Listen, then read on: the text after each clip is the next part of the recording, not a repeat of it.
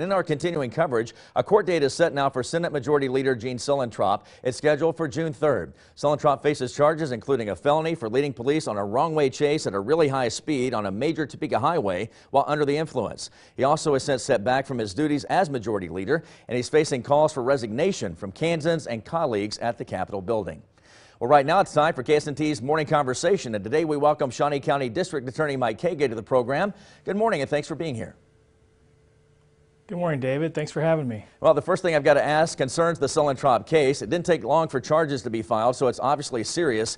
Can this case be handled the same way as if it involved any other civilian with the same charges? Oh, absolutely. And I think that's that's what we have to do, right? Uh, and that should be the expectation of the uh, community that we serve.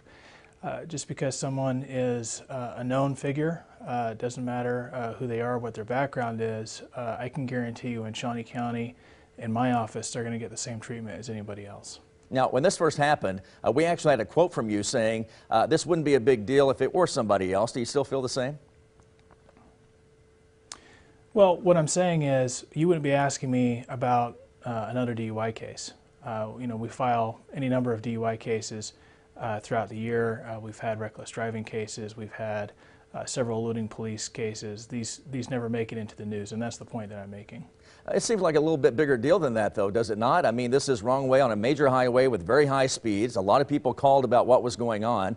The rate of speed was incredibly high, what I understand to be 90 miles per hour, and then lives were actually put at risk from KHP trying to stop this driver. Uh, is it not more serious than what you're, you're really talking about here? I'm not saying the charges aren't serious. I'm not saying that we're not taking them seriously. What I'm telling you is we've had other cases uh, with similar fact patterns uh, that have never made it to the news. Now, one thing That's that did come out in the news was this Operation Frontier Justice. This was really impressive, uh, really a secretive operation with a ton, some 200 and something arrests being made. How will these cases be handled?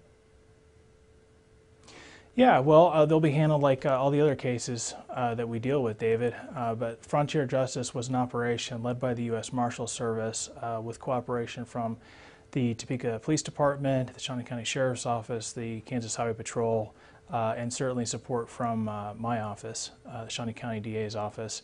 And it was an effort to really crack down on some violent offenders in the area. a number of warrants were executed. And uh, I think the community can feel a little bit safer knowing that uh, we have that kind of teamwork, that kind of partnership in place here in Shawnee County, uh, and we're ready to, uh, to use that uh, to protect this community. Were all of these arrests concerning either maybe illegal weapons and drugs, or was there more to it than that? I think there's a little more nuance to it than that, uh, but generally speaking, that, that's the goal, to identify violent offenders, to identify people who are uh, causing harm in your community and to, uh, to make sure you uh, bring the full weight of the law to hold them accountable. Now, one thing I've got to ask you here, uh, the state attorney general, Derek Schmidt, he's running for governor. I know you're really happy about getting reelected for your current position. You want to do it very well, but do you have aspirations for maybe uh, reaching for that spot?